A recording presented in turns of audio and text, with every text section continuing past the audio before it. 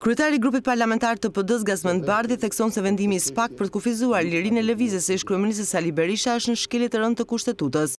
Kufizimi i lirisë së lëvizjes së zotit Berisha pa autorizim të Kuvendit është një shkelje e rëndë kushtetuese që ngre pikëpyetje të forta mbi arsyet e nxitimit të SPAK.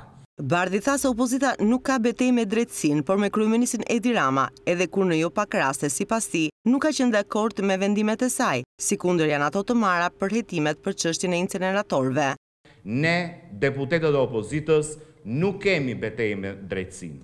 Edhe kur shohim se si koka e inceneratorëve, Edi Rama, që ka miratuar shtatëmbëdhjetë vendime të Këshillit të Ministrave, brenda ditës, për të favorizuar mafiozët e inceneratorëve, vijon të shëtisë i lirë nga supervila e tij në Surrel për në Kryeministri. Bardhi tha se Grupi Parlamentar Demokrat nxit drejtësinë të veprojë për interesat e qytetarëve dhe të vendit.